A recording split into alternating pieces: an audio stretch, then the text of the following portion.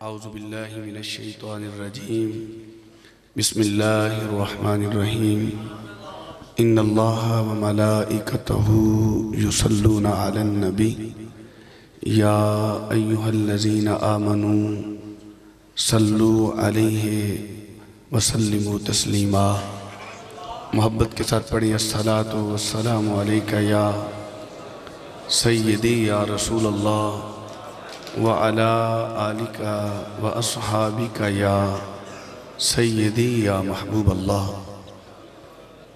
इंतहाई काबिल सद एहतराम सामीन गिरामी कदर व जी एहतशाम चूँकि वक़्त के दामन में गुंजाइश नहीं माशा कसीर तादाद में कराम तशरीफ़ फरमा सब के मैं असमार्ज करूँगा तो मेरी गुफ्तु का जो वक्त है, वो असमा की गर्दान में गुजर जाएगा।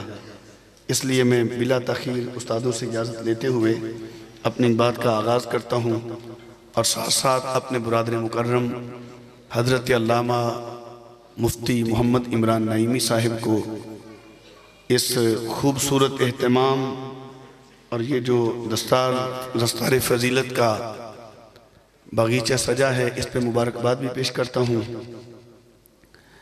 अब मैं चंद मिनट हजूर नबी अकरम सल्लल्लाहु अलैहि वसल्लम की ज़ात वाला सिफ़ात पर दरूद के हवाले से आपसे चंद बातें करता हूँ। कुरान मजीद फ़ुरक़ान हमीद में अल्लाह ताला ने बकौल आरफ खड़ी के शद्दा मद्दा ते जबरा जेरा विच शान नबी दे आइयाँ आमा लोग खबर न कोई, खासा रमज़ा पाइया।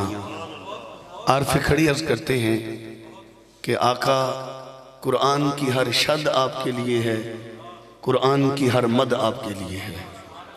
कुरान की हर ज़बर आपके लिए है और कुरान की हर ज़ेर आपके लिए है। लेकिन जिस अंदाज में आय दरूद हुजूर की अजमत, हुजूर की शान, हुजूर की रिफत और हुजूर के मकाम को बयान करती है, ये इस आयत ही का खासा है। चुनाचे बारी ताला ने कुरान मजीद, फुरकान हमीद में अहकाम से मुतक जो आयात नाजिल की ओलमा जानते हैं, मैं ओलमा को तो सब सुना रहा हूँ, पाँच सौ आयतें इस आयत का ताल्लुक भी आयात अहकाम में से है। तो अहकाम से मुतलक जितनी आयतें उतारी, किसी और आयत में ये अंदाज इख्तियार नहीं किया गया जो इस आयत में किया गया है।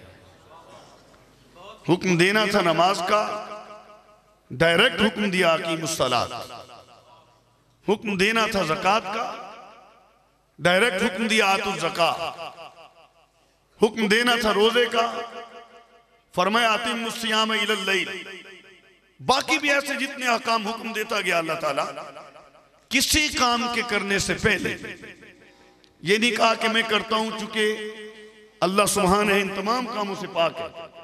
वो तो मामूद है, इबादत नहीं करेगा। लेकिन जब बारी आई, हुजूर पर दरूद की तो अल्लाह ने हुक्म बाद में दिया, इस काम के करने का अपना तस्करा पहले किया।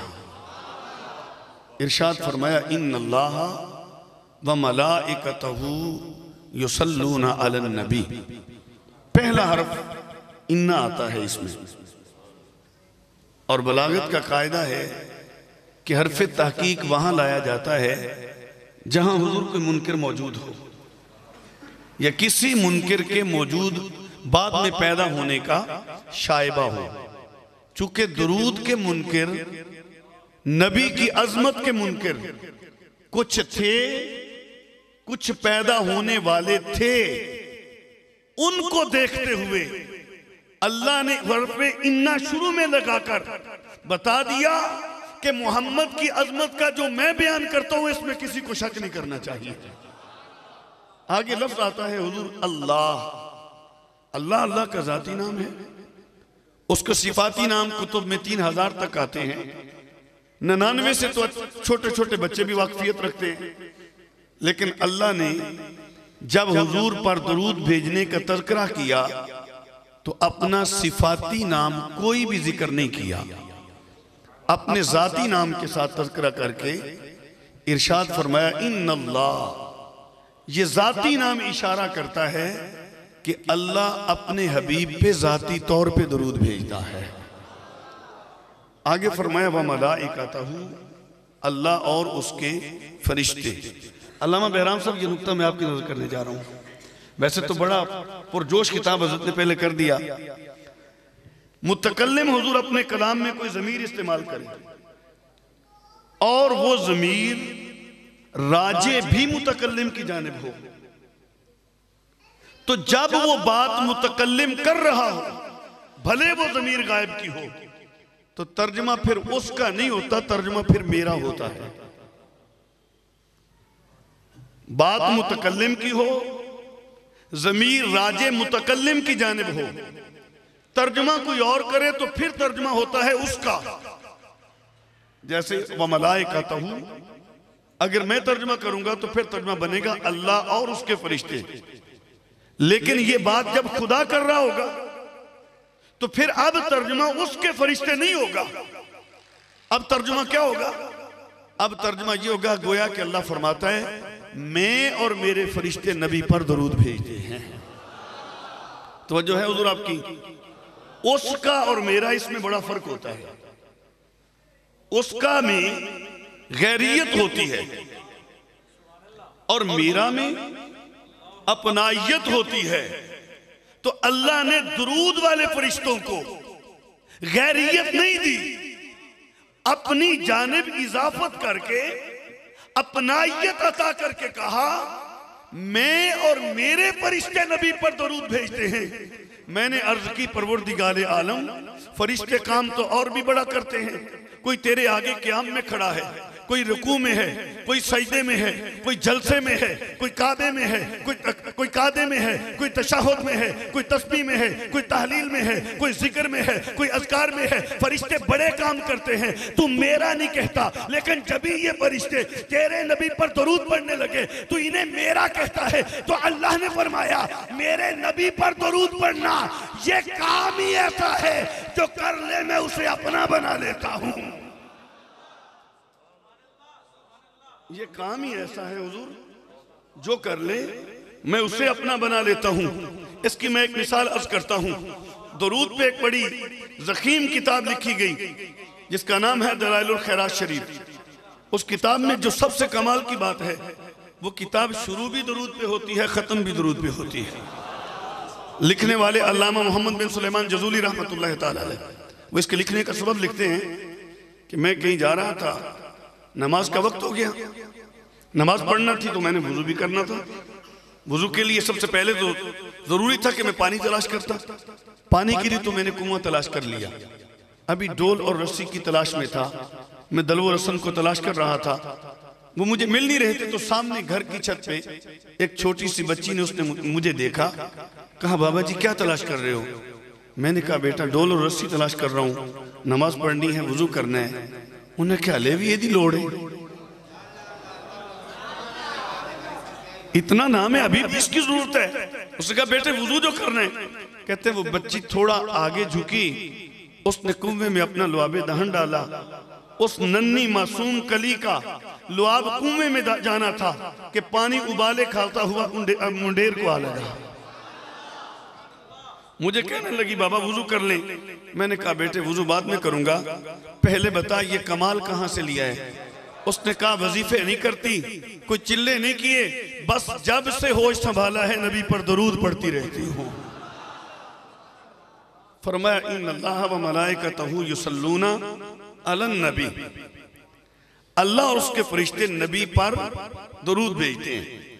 ये पर भी बड़ी अजीब शह है। हज़रत पर बड़ी अजीब शह है। जिस पर हो ना जब तक वो ना हो, पर नहीं होता। शायद कि तेरे दिल में उतर जाए मेरी बात। जिस पर हो जब तक वो शय ना हो तब तक पर नहीं होता। आप बैठे हैं मस्जिद की चटाइयों पर। उस्ताद साहब बैठे हैं सोफे पर। पगड़ी है इनके सर पर। इनका सर है तो पगड़ी सर पर है। सोफा है तो ये सोफे पर है। चटाइयाँ हैं तो ये चटाइयों पर है। दरूद हो रहा है नबी पर। दरूद हो रहा है नबी।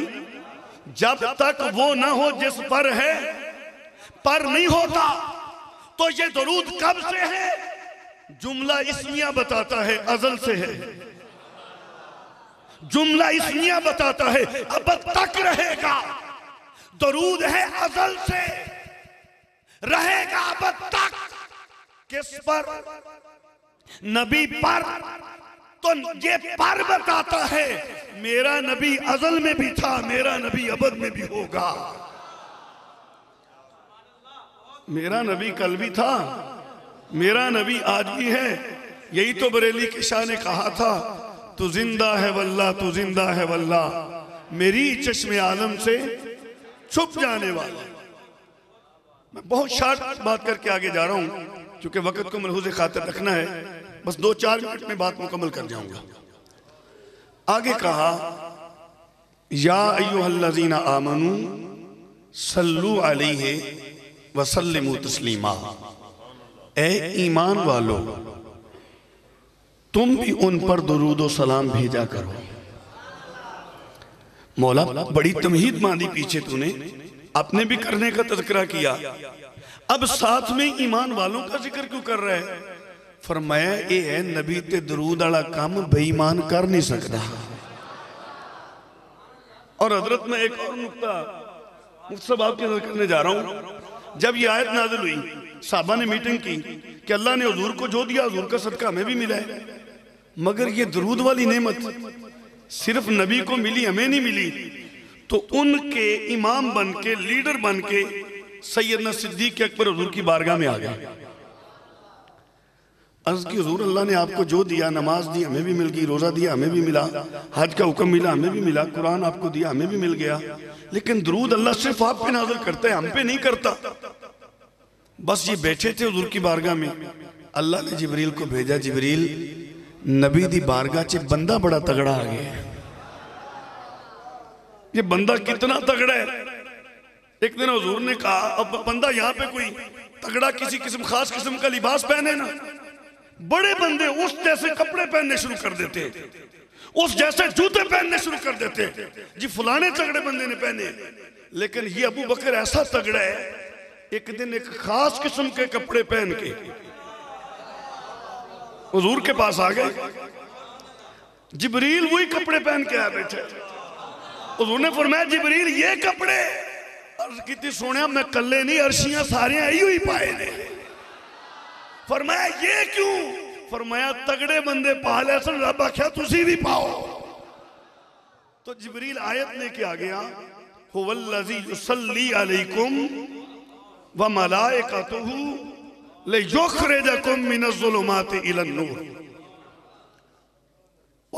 दुआओं का ज़रूर मुलतजी हूँ। उसमें था युसल्लून। इसमें है युसल्ली। मलाइका तो वहाँ भी है। और मलाइका तो यहाँ भी है। मौला, उधर तो युसल्लूना फरमाया। इधर युसल्ली, वजह फरमाया, इस गलों कि किसी खर दिमाग का दिमाग खराब ना हो जाए वो ये ना आखे कि रब मेरे ते भी कल दे रब नबी ते भी कल दे। जब भेजने की बारी थी हम पे, अल्लाह ने कहा, मैं अलहदा भेजूँगा, तुम अलहदा भेजो फरिश्तों को। तुम्हारा दरूद और होगा और मेरा दरूद और होगा। लेकिन जब बारी थी नबी पे, युसल्लूना जमा कसीदा लाके, अल्लाह ने कहा, मैं हर काम अकेला करता हूँ। ला शरीक हूँ, किसी को शरीक नहीं करता। अब बारी है मोहम्मद पे दरूद की, आओ फरिश्तों मेरे साथ शरीक हो जाओ। हम मिलकर नबी पे दरूद भेजते हैं। अच्छा वहाँ क्या कहा? ले योखरकुम मिना जुलुमाते, ताकि तुम्हें निकाले। जुलमात से नूर की जानेब, नतीजा क्या निकला? दरूद से पहले जुल्मत थी। दरूद से पहले, और दरूद के बाद नूर आ गया। मैं जिस नतीजे पे पहुँचा कि जुल्मत वाला दरूद पढ़ नहीं सकता और नूर वाला दरूद से रुक नहीं सकता। तो हमें दो कामों का हुक्म दिया। मैंने अर्ज़ की, परवरदिगार, खुद तो एक करता है, हमसे दो करवाता है। इस आयत में पीछे अपने जो एक का तस्करा किया, हमें भी हुक्म एक का दे देता। फरमाया, तुमसे काम भी दो लूँगा तुम्हें इनाम भी दो दूँगा। पिछले भी जरा बोल पो हाँ की होने लगा उधर हर से ना एक रौला होंगे पिछले बंदे समझते हैं सुभान ला अगलिया की ज़िम्मेदारी पिछलिया नहीं आखना। चज न आखो, यार, तकरीर छेती मुकामा में। पर मैं तुमसे काम भी दो लूँगा और तुम्हें इनाम भी दो दूँगा। इनाम क्या? फरमाया, जो दरूद पड़ेगा उसे मैं सवाब दूँगा और जो सलाम पड़ेगा उसे मेरा मोहम्मद जवाब देगा। बस ये आखिरी नुकता और बात खत्म।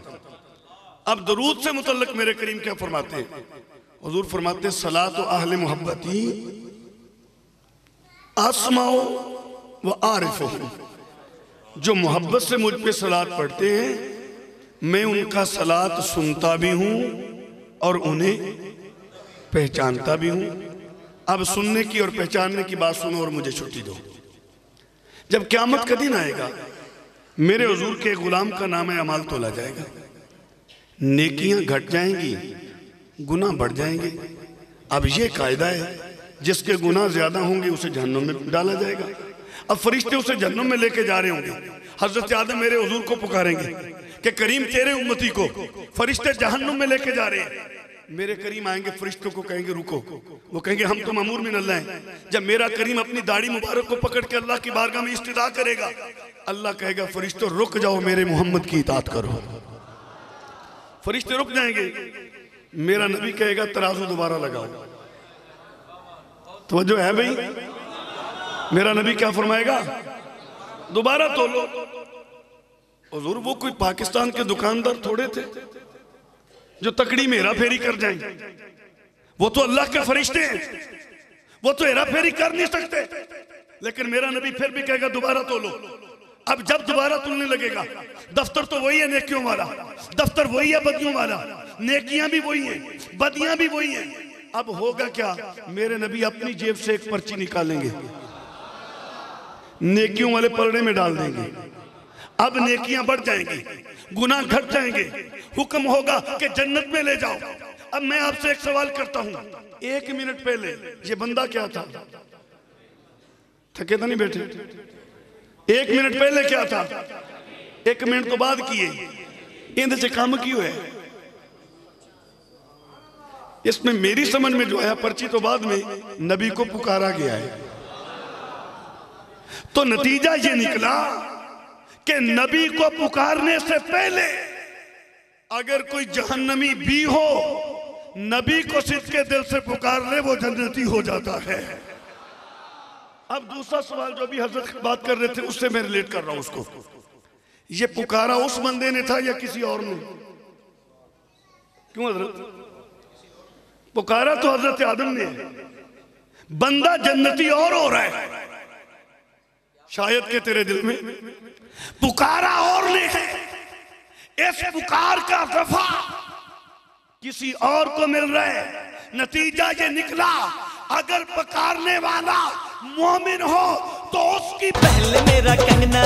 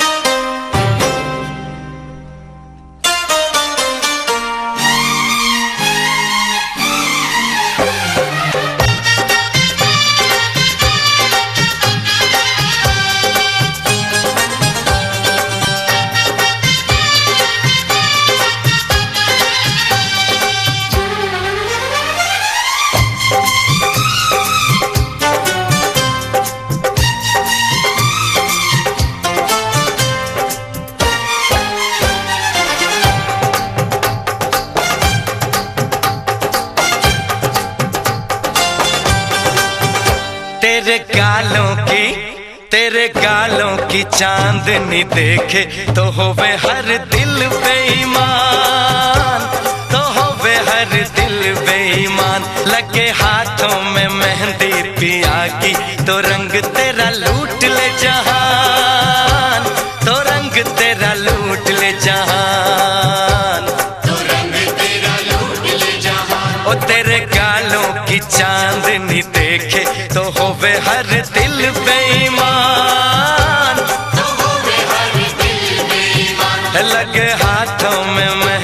मेहंदी पिया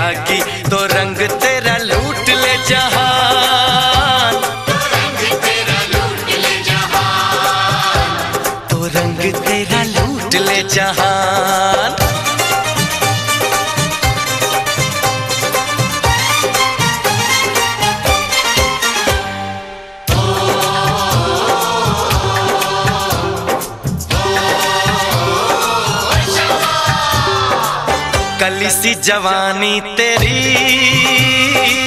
खिल जाएगी बन के फूल। ओ, महक उठेगी रे तू, सैया जी की बाहों में झूल। सुननी कुड़िए रेशम दी कुड़िए कयामत कर देगी नी तेरी गजब की चांदनी देखे तो होवे हर दिल बेईमान। तो होवे हर दिल बेईमान।